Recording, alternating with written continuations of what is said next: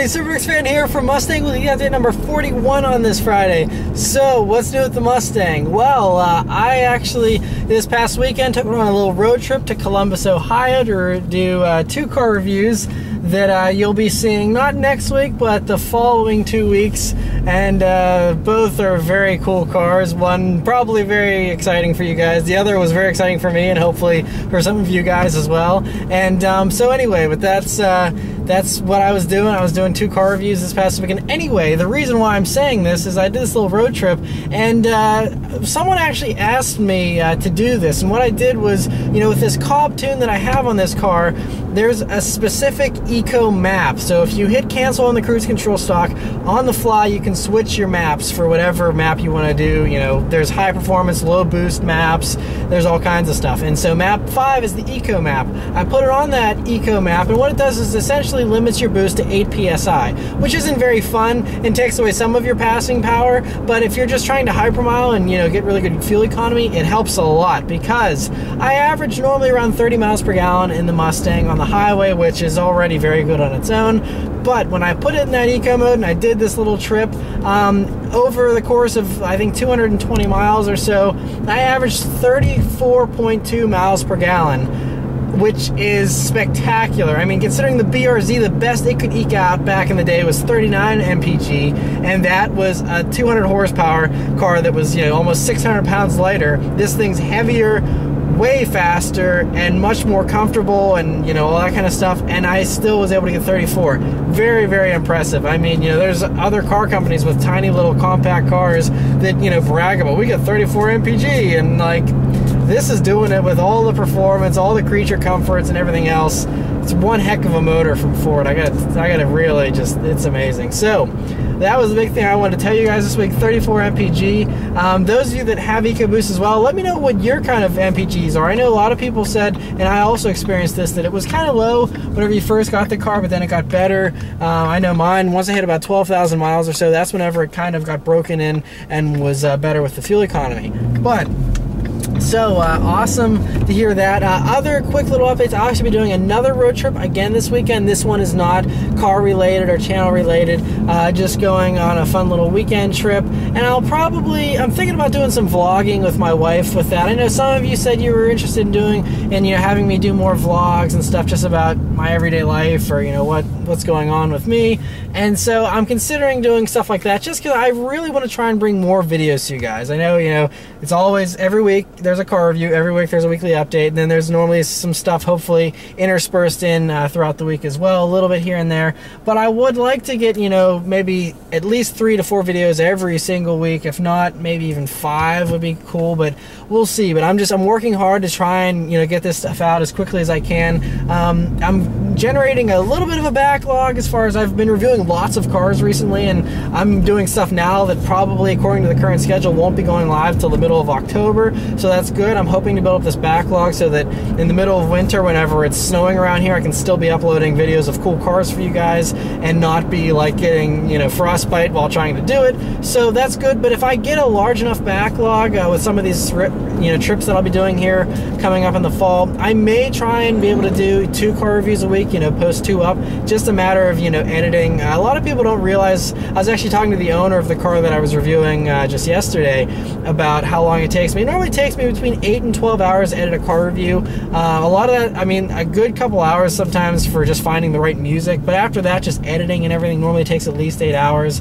So it's a long and involved process. You know, each car review normally takes me about two days to produce, with one day just being dedicated to filming everything for the car, and then the second day being for editing it. So it's, it's quite an involved process, but I'm going to try my hardest uh, to try and get more up for you guys. And so, uh, but yeah, that's it as far as all the uh, updates on the Mustang and everything. Uh, I also have another new product that I'll be reviewing soon. The Steeda stuff I haven't uh, been able to get installed yet. Hopefully that'll be here within the next week because I have some other stuff coming for the Mustang uh, later on down the road this month that I also want to, uh, you know, put on the car and show you guys. But uh, I have a new product, a dash cam that was actually sent to me recently, and so I'll be using that here on my little road trip this weekend and doing a little bit of a review of that. And that'll be going live early next week as well, so be on the lookout for that.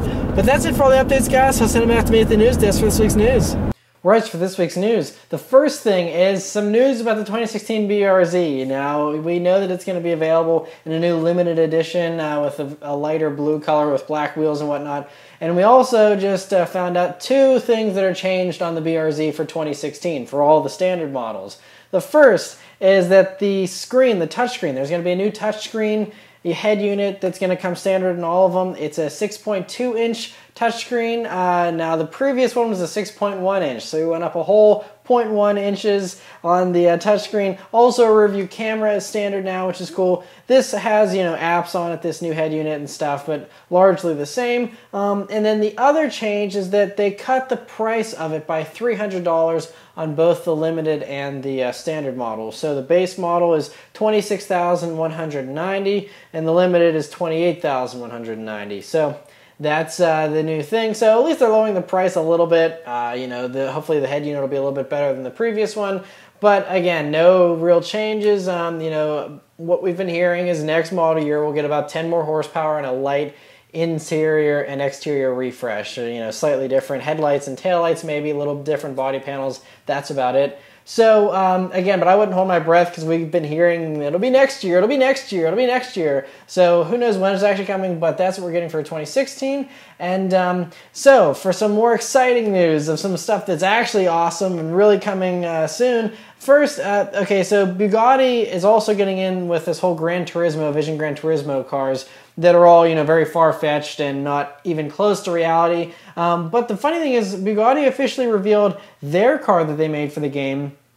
And the crazy thing is, it actually looks like it's somewhat plausible as a production car. And a lot of people are thinking they're using this as a teaser for the upcoming Bugatti Bugatti Chiron or whatever they're going to be calling it. And um, so it's interesting though. We have some cool cues here. Looks like it's going to have the Audi, you know, TFT display like all the Lamborghinis and stuff have these days. And, uh, you know, it's going to have, obviously, it's a, the slightly angrier look, but still very similar in shape to the Veyron, which is what we've been hearing before as well. This is, of course, a race prep version, but if you ditch that rear wing and the aggressive chin splitter and side skirts, what you have is probably pretty close to what the new Veyron is going to look like. And so that is awesome to see that. We also uh, just got uh, a rumor here saying that uh, it's rumored that the new Bugatti is going to cost $2.5 million, which is about a million more than the previous version.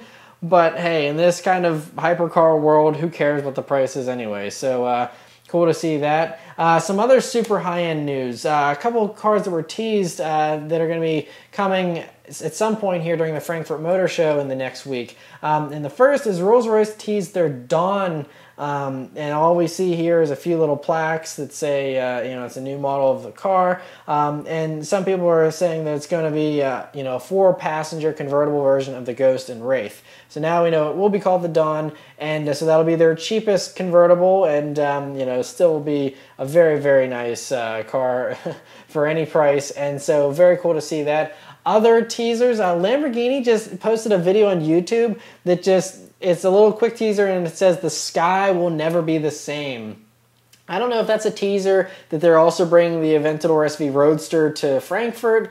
Uh, I'm assuming it'll be there, but this sounds like it's something new. But we know they're not really bringing anything until Geneva, which isn't until next year. So I don't know what that's all about. Uh, it could just be them bringing the Aventador Roadster, uh, the SV version, but we'll have to wait and see. But it's uh, something up Lamborghini's sleeve as well. And for a very cool uh, special edition car that was just revealed this week, Aston Martin officially unveiled the uh, James Bond edition of the DB9 GT. So uh, they're celebrating the release of Spectre, which is coming out very soon for the UK. Us here in America have to wait an extra month or so, um, but it's coming out soon. And so there's this Bond edition of the DB9 GT. Now we know that the DB9 is on its way out. Even in Spectre James Bond drives the new DB10, which we won't be getting, but the DB11 will be coming uh, eventually here in the next year or so. And anyway, they're trying to you know sell DB9s here, the last few that they can. So they're sprucing them up with uh, some cool special editions. And I'm a sucker for anything James Bond. So even though this is just you know one of those like dying breaths of you know the last versions of the DB9 here, I still think it's awesome awesome.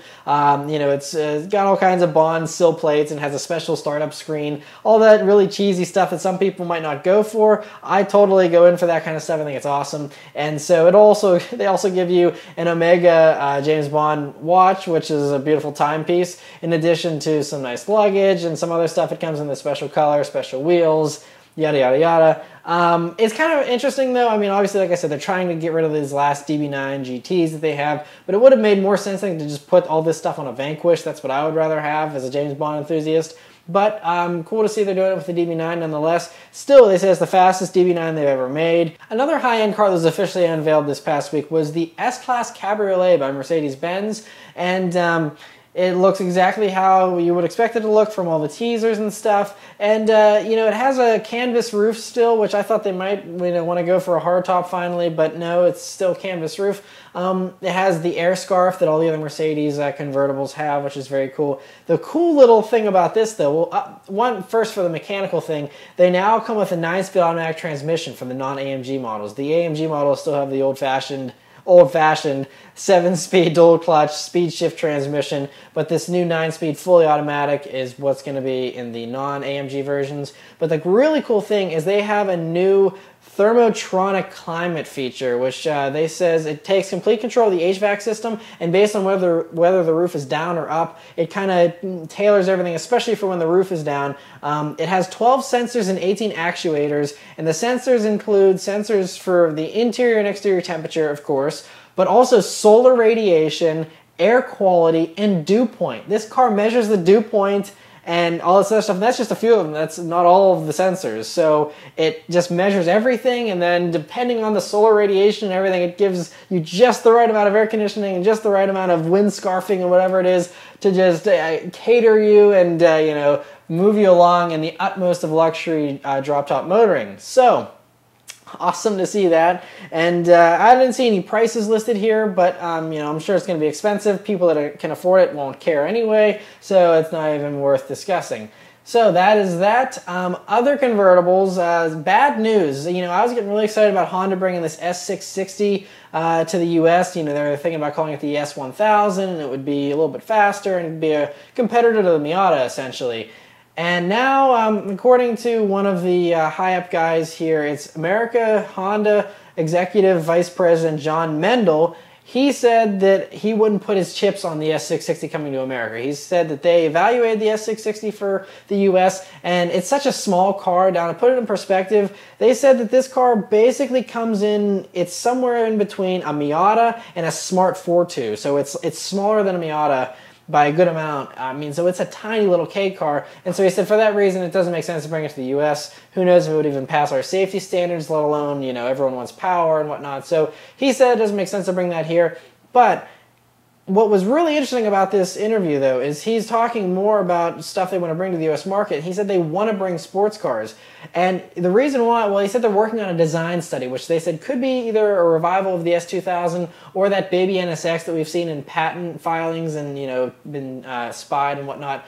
But anyway, um, what they're saying is they said that the dealerships, the Honda dealerships are the ones that are saying, we need a sports car again. It's been way too long since the S2000. Uh, Civic SIs are cool, but they want a dedicated sports car, and the CRZ with its 130 horsepower isn't cutting it. So um, that's the dealers. They're putting the pressure on everyone. The executives want it, the dealers want it. So they're going to make something happen here. And so what happens, we'll see. But um, they said that exactly what they want is they want a sports car, an actual true sports car. They said that dealers want one with a retractable hardtop, and they want it to be high horsepower in the $20,000 range, which sounds a little unobtainable, um, but it could be very possible. Just toss the Type R motor if you want high horsepower, 300 horsepower there you know, retractable hardtop, uh, something small that, you know, was cheap on the inside but has all that stuff, I think that would definitely sell like hotcakes. The dealers want it, so hopefully it happens here. So uh, interesting developments there on that. Uh, other stuff, I mentioned the CRZ. Um, they just got a refresh in Japan. We'll be getting the same refresh here in the fall for the CRZ here in America. And uh, don't get your hopes up though, it still has the same exact powertrain they always neglect the powertrain. That's the one thing everyone wants is more power. They do everything but.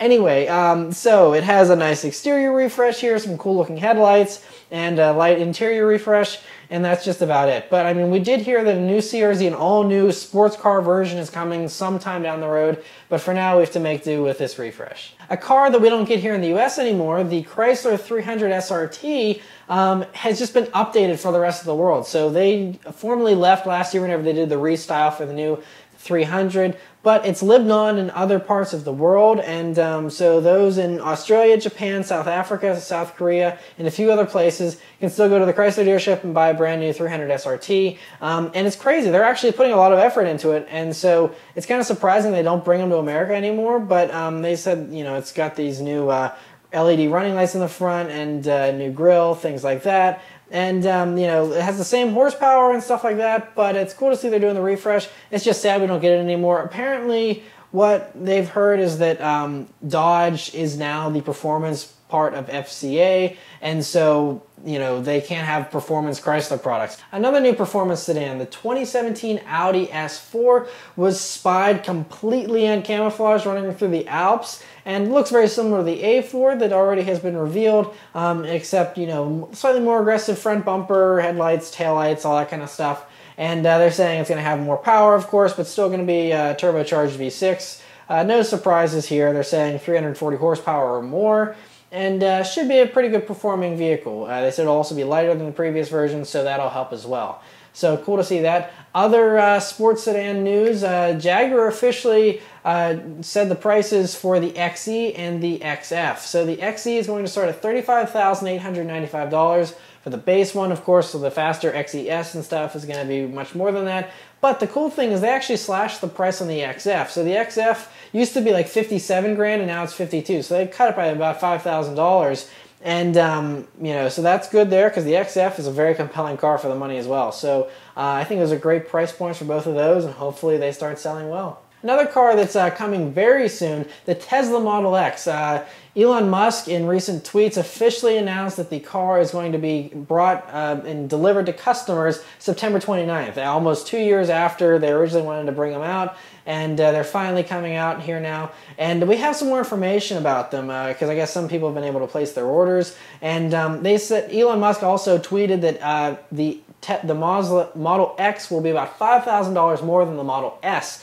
So uh, it's about comparable. Now you can load them up like there. People were freaking out because the top of the line Model X is like $132,000 for the Signature series, and uh, that has the fastest uh, performance for the most part, and it's totally pimped out uh, inside and has the autonomous driving, all kind of stuff. But there are a few uh, interesting and cool options you can get. So there's a ludicrous speed mode, which we've heard about before in the Model S. It's going to be available in the in the Model X here and it's going to be able to get to 0 to 60 in 3.2 seconds, they're saying, and run the quarter mile in 11.7, which is uh, very fast indeed. Um, and so, but standard equipment, there's it's still going to have uh, you know the Falcon doors come on all of them, uh, which is pretty crazy, and you know sensors so they don't like open in your garage and slam into the roof and all that kind of stuff. I'm interested to see how those rear doors actually end up working. But um, cool to see that. And a couple stories from Ford this week. First exciting thing is uh, there was just spied an ST version of the Fusion. So the Ford Fusion is going to be getting a restyling for the 2017 model year, have some refreshed, uh, you know, styling a little bit here and there. And I showed a couple weeks ago a leaked image of what it looks like. And now we see an ST version. You can tell it has those fangs in the front similar to the, uh, you know, other ST models. And um, so it looks pretty cool. We got quad exhaust in the back, and obviously it's camouflage, so you can't see a whole lot here. But um, what they're hearing is the rumors are it's going to have the 2.7 liter EcoBoost V6 engine. They said they're shooting for over 300 horsepower and it's going to be all-wheel drive, which is awesome. Uh, they said it's going to have a six-speed automatic transmission. No word as to whether or not there'll be a manual fingers crossed. Uh, hopefully it'll happen. But for now, um, just automatic and three over 300 horsepower from uh, an all-wheel drive system as well. So uh, that's cool. I'm surprised that they're only doing 300 horsepower from a 2.7 because we all know the Mustang EcoBoost is 310 horsepower with a 2.3 liter EcoBoost. So this motor has much more potential. So maybe they'll put the Mustang motor in, or I'm guessing that if they're using the 2.7, we're going to be closer to 350 than uh, 300. So cool to see that, and uh, no word as to when it's actually going to be coming, but I'm, I'm just going to have to guess and say next year. other Ford news is uh, they just officially unveiled the 2016 Ford Explorer Platinum, which um, has an interesting thing called Nirvana leather in it. Um, which is uh, cool to see. Uh, it's totally pimped out. This is basically the top of the line version of the Explorer. We've already seen the Explorer, so that's nothing new. It's just a new trim package essentially here, and uh, looks good. But it's fifty-two thousand six hundred dollars, which is pretty uh, pretty high, but a very nice uh, SUV for the money. It has LED headlights and all kinds of stuff. It has the 365 horsepower, 3.5 liter EcoBoost V6 as well.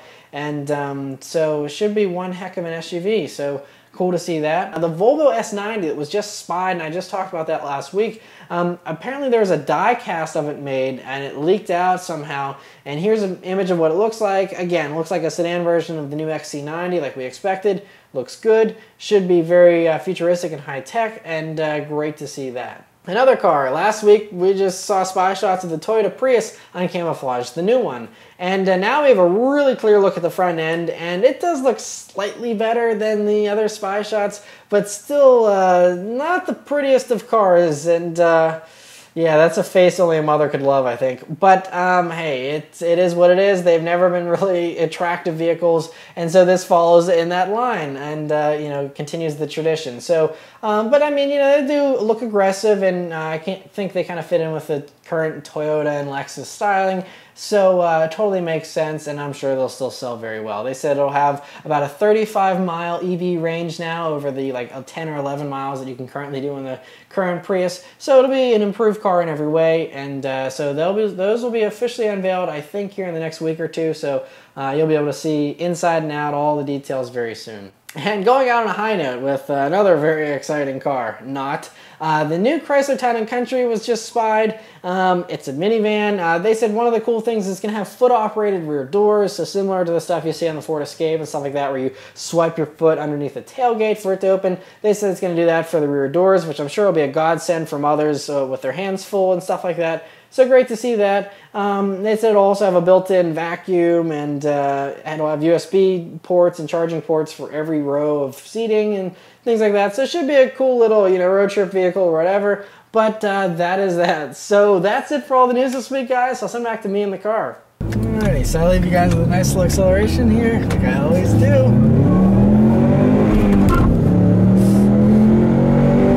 Oh, yes, sir.